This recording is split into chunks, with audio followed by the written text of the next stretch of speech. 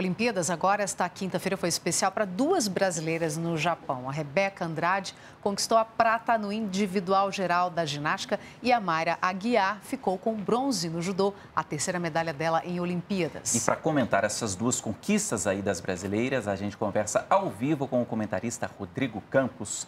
Rodrigo, boa noite, meu amigo.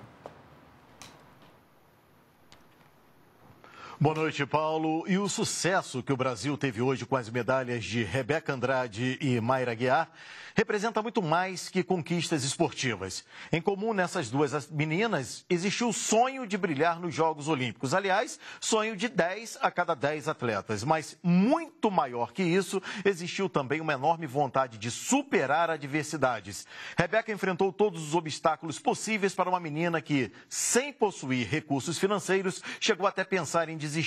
No entanto, o coração de mãe que nunca se engana, mais uma vez foi fundamental na sua sábia decisão de permanecer sonhando, treinando, acreditando e hoje pulando de alegria. Mayra também é exemplo de superação. Quem poderia imaginar que uma atleta que em novembro de 2020 estava sendo submetida a uma intervenção cirúrgica após grave lesão no joelho, oito meses depois estaria subindo ao pódio exibindo uma medalha?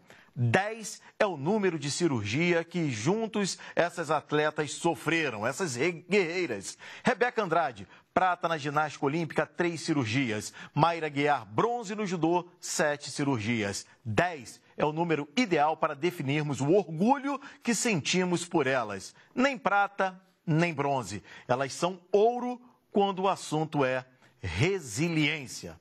Paulo, Catiúcia. Certo, Rodrigo, obrigado. Vamos ver então como está o quadro de medalhas dos Jogos. A China ultrapassou o Japão e agora lidera o quadro. Está com 15 medalhas de ouro, 7 de prata e 9 de bronze.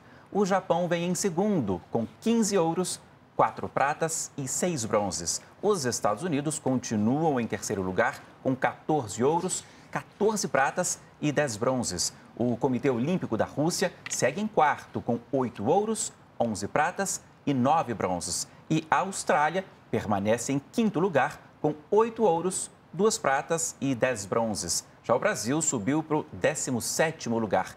Nós temos sete medalhas agora: uma de ouro, três de prata e três de bronze.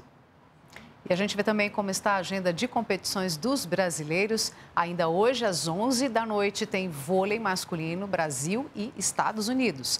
Às 2h35 da madrugada, é a vez de Robert Scheidt na vela laser na sequência, às 2h50, tem mais prova de vela com a dupla brasileira Martine Grael e Kaena Kunze.